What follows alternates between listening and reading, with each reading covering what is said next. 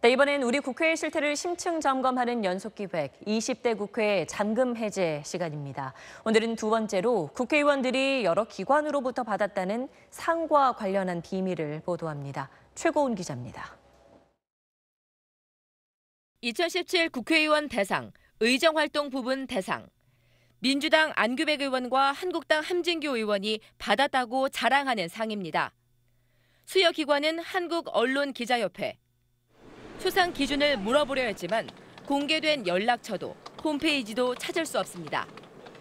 180여 개 언론사가 가입한 사단법인 한국기자협회와 이름은 비슷하지만 전혀 다른 단체입니다. 상 받은 의원에게 물었습니다. 상 주니까 받지 상 저기 없는 거를 상을 받아요? 본회의 출석위에 상임위 이런 거 다 고려해서 주는 거지 어디서 상을 주는 걸 그것까지 어떻게 알아 우리가? 안규백 의원은 심사 과정은 알 수 없고 수상자로 뽑혔다고 해서 받았을 뿐이라면서도 인터뷰는 거절했습니다. 지난해 말 의원 5명이 같이 받았다는 또 다른 상입니다.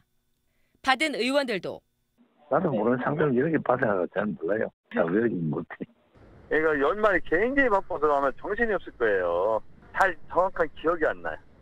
심지어 심사위원으로 이름이 오른 사람도 모르고 그런 상의 명칭에 대해서 심사를 한 기억이 없네요.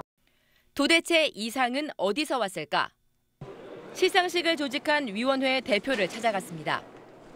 그는 익명 처리 조건으로 인터뷰에 응했습니다. 강제 조선 안 받고 그동안 활동상이라든지 인터넷 지금 다 나오잖아요. 객관적인 심사는 조금만 돼서는 없죠. 결국 상을 주는 건 기관 마음이라는 겁니다. 옛날에 초등학교는 우수상만 주고 그죠? 개근상 주고 그랬잖아요. 근데 지금 다 주잖아요. 모험상, 본상 다 주잖아요. 그러니까 나름대로 우리도 그분한테 무슨 상을 주겠다 그러면 주는 거예요. 난무하는 상 중에는 돈을 요구하는 일도 적지 않습니다. 상패 제작가 명목으로 몇십만 원에서 백만 원 정도의 돈을 국회의원실에서 받아가기도 합니다. 다 다른데 뭐 30만 원에서 뭐 100만 원 정도 이렇게 하는 데들도 있고 상표 제작 비용이라든지 또 뭐 어떤 그 단체 민원이라든지 이런 부분들이 들어오거든요. 상을 주는 사람도 받는 사람도 진짜 상이 아니라는 걸 알면서도 유권자들은 모를 거란 생각에 보여주기용 이력을 만듭니다. 상같이 다는 상. 근데 거기 보면은 뭐 뭐 뭐 대상 다 들어가. 근데 그게 있는 거하고 없는 거하고 차이가 어떻게 있어? 유권자들은 모르겠죠.